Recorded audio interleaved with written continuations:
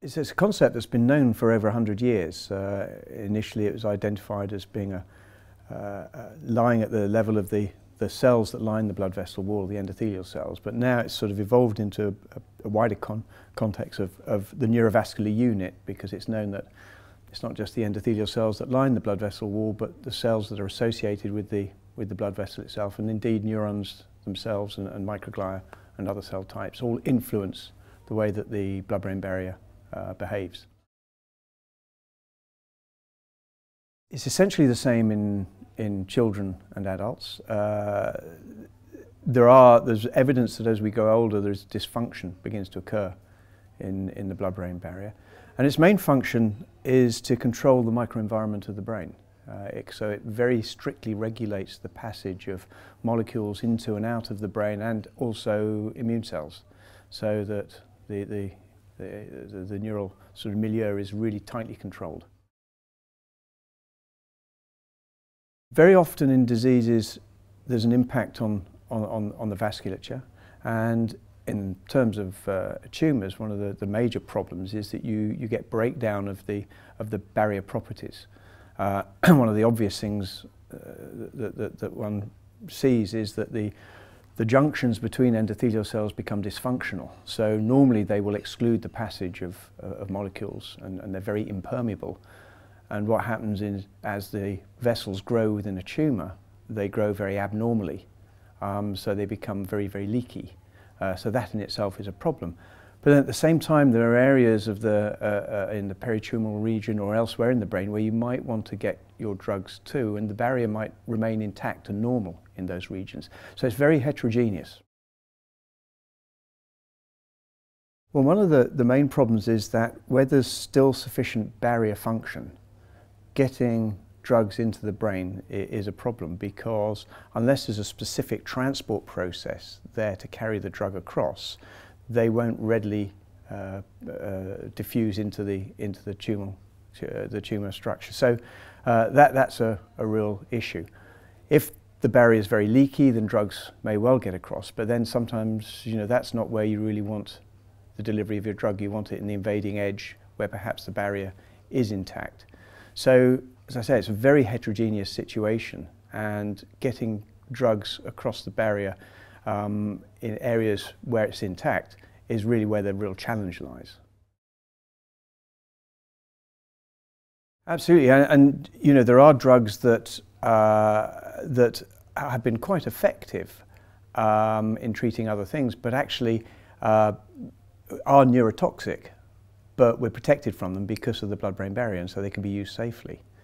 Um, so it, it, does operate in, in, a, in a form of protecting us from you know, xenobiotics. Yes, well, I mean, there have been various ways. There have been ways in which you can just simply try and shrink the blood vessels using a hyperosmolar solution, and that literally pulls the junctions apart. Um, there are clearly going to be problems with that because it's not particularly well controlled and it affects the whole of the brain. There are ways in which one tries to use signaling uh, receptors that signal to the junctions and cause junctions to more sort of physiologically or pathophysiologically open up uh, in a temporary fashion so that you can deliver drugs.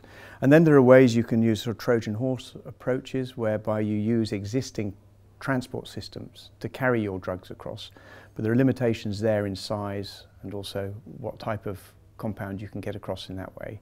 And also vesicular activity, you know, using um, macromolecular transport systems.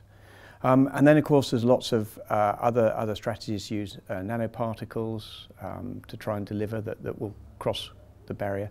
So there are, there are multiple ways in which one can try and circumvent that from vascular delivery. Um, uh, uh, methods. And then there are ways where you can actually just sort of inject directly, for example, into the brain using cannula, which again will circumvent the, the barrier. So there are lots and lots of ways in which people are trying to achieve this. And in fact, it's something that has been the sort of holy grail for, for, for decades. Uh, and we're still sort of struggling to find an ideal uh, way to sort of really meet our needs in, uh, in this context. I think the fact that there are so many different approaches and so many different ways that people are trialing and trying to uh, achieve delivery across the barrier just demonstrates in itself that, that we still really haven't found the answer.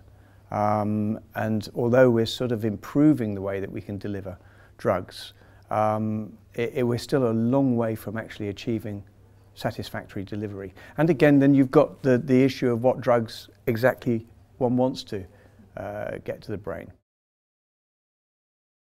I think particularly in the, in the childhood uh, brain tumours, one of the things that struck me is that there's still sort of very little known about the vasculature in these tumours. And I, I think because they're fairly rare diseases, the, the, there is a, a real need to understand in much more detail the heterogeneity of the vasculature of these tumours uh, and uh, in the surrounding regions. And it's only then when we understand what sort of level of barriers exists there, whether indeed the, new, the vessels within the tumour are well perfused because they've got to be perfused to be able to deliver the drugs in the first instance, whether one can improve perfusion to deliver drugs, which is sort of the issue of vascular normalization. Um, I think until, until we know a little bit more uh, and we're better informed, um, it's still going to be difficulty, uh, difficult to sort of achieve delivery across the whole of the tumour and in all the regions where we need to. You might uh, achieve delivery to parts of the tumour with a particular strategy, but not other parts.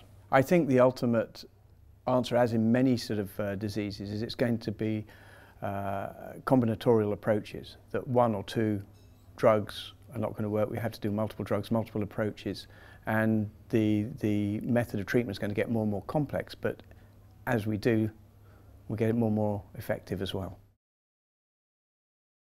There are a number of very interesting approaches, and I'm looking forward to hearing some of them that are going to be reported at, at, at this meeting.